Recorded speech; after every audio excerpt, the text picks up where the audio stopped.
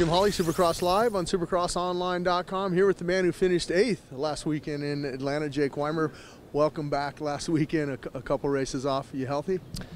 I'm getting there. I mean, I'm get, I'm still getting better. I'm not. I mean, my ribs are still sore, but I I wouldn't say it's really holding me back. Um, but still, kind of getting better and making progress. So, uh, yeah, looking forward to hopefully a better finish tonight. I've watched your career, you know, coming up through the arena crosses and stuff, and, and winning the uh, championship on the uh, West Coast on the lights or the 250 class now, um, and having podiums last year. Um, this year, no podiums. Struggling a little bit this year.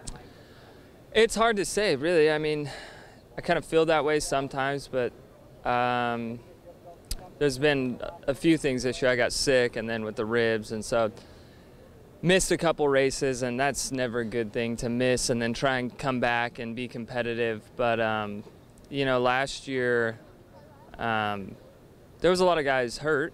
Uh, not at the beginning. I'd gotten a few podiums, I think, with everybody healthy, but at the end of the season, you know, there was only a couple of the top guys racing still. Uh, where this year, I believe everybody that started Anaheim one is still here, so um, that makes it more difficult.